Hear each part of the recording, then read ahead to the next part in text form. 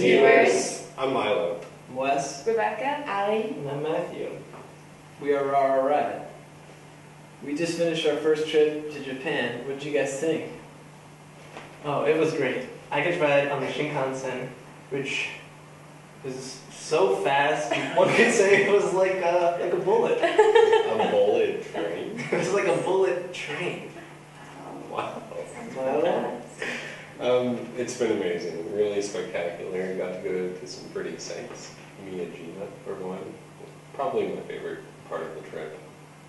It was really beautiful. And we've also gotten to eat such good food. We've tried every kind of cuisine here, I think. Anyway, Our first album was released on July 7th, and uh, here's a song from it, Ghost Under Rocks. Hope you enjoy it. Mina Mitane.